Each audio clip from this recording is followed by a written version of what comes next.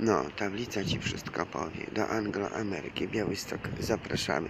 Do kraju cerkwi, do kraju prawosławia, do kraju biskupa Jakuba. No bo tutaj wiecie Państwo, w Warszawie jest kraj brodaczy. Jest przesąd na brodę. W jakimś momencie zaczęli golić te brody, proszę Państwa, w kraju pasty, prawda? Jest pasta, budynek najstarszy, były najwyższy. Potem znowu tę brodę zapuszczać w kraju orła białego. Pasta, najwyższy budynek były warszawski. Także zapraszamy do kraju prawosławia, stąd z krainy ateistów.